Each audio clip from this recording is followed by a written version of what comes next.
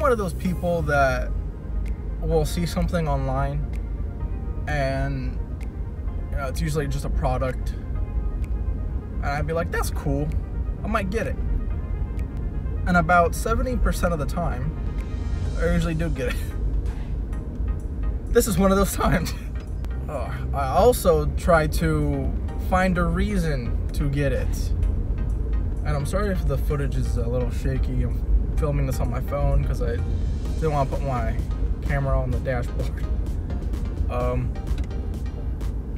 but uh, I wanted to get something that was practical for you know my daily use, which was basically being a photographer. I need equipment that will help me uh, do my job a little better. So I've always had trouble carrying my uh, camera wherever I go. Uh, if you guys saw my equipment video I did a couple months ago, I uh, I showcased this little handle that you put on top of the on the camera on the shoe mount, and uh, it, it works. I liked it. I got it because it was a little bit more convenient than just holding it by the side of the camera. But um, I got it to uh, alleviate the pressure on my hands while I'm holding my crutch at the same time. Um, I really hope you guys can hear me over my car's engine, but uh, it, it worked for a while. Uh, after a while, it kind of uh, hurt my hands a little bit because it's metal. Uh, I could find like a little sleeve to fit on it and uh, maybe make it a little easier to hold. But uh, it, it didn't really work for me because it still put a lot of pressure and weight on my hands and I didn't want that. Uh, it just made walking with crutches a lot harder than I wanted it to. Uh, so I had to stay with that for a couple months because I couldn't find anything else. Fast forward to about uh, two weeks ago, I came across this one company called Spider. So they help, they specialize in, in, equipment that help you carry your uh, camera around. Uh, they have slings, they have um, hand, uh, they have hand pads that you can attach to the camera. Um, first of all, this isn't sponsored, by the way. Although Spider, if you're uh, if you're watching, hit me up. Anyways, they, they I came across this one uh, holster type uh, John, if you will, if you're from Philly. This holster type John, and uh, it, it basically it's it's basically like a gun holster. Like you, you put it on the side of your hip and then you just carry it around. When I first got it, I was a little skeptical because like it, it does advertise holding um, very heavy cameras. My camera is around like eight, nine pounds with with uh, with the uh, with the 70 to 200 lens on it, and that's a lot of weight. So I was a little skeptical with it um, being able to hold all that weight.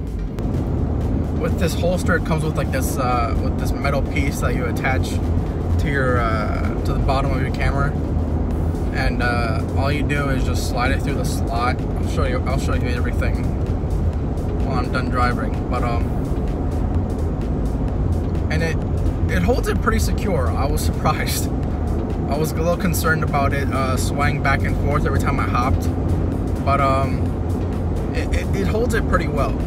One thing that I could say that I would like to see in the in the next version, if they ever uh, if they ever make one, is uh, a little bit more padding on the inside because uh, throughout the whole belt, it's uh, it's like Velcro, and it has like that rough uh, that rough side.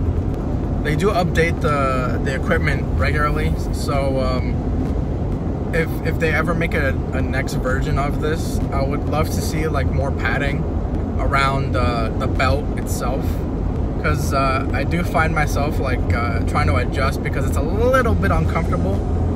The the pros uh, all outweigh the cons, so I don't really mind it. I uh, I would I would recommend just putting the shirt under the belt so it doesn't really hurt you. Now, cosmetic wise, I would like to see. This is just me being me. Uh, this this equipment isn't really that uh, that common. Um, a lot of people don't know about it. So when when you go out in public, you will turn heads. But that's okay for me. I like uh, getting that attention. It, it sparks conversations, stuff like that. So uh, anything that lets me stand out, I'm I'm with it. Let me know if you guys like these uh, in the car conversation type videos. I think they're pretty cool. They're a little different It's better than me just sitting in my room and talking. Uh, I hate silence, so being in complete silence in my room kind of kind of makes me feel awkward and, and not that not that productive. Being on the road, it, you know, makes me feel more comfortable. All right, so I didn't end the video in the car, so I'll do it here. uh, if you guys like this video, please like and subscribe. Turn those bell notifications on and share with anyone that you think that will benefit from this video. I know I will be sharing with a, a couple of friends that I know uh, that might benefit. So, uh, yeah, I'll uh, see you guys later. Peace.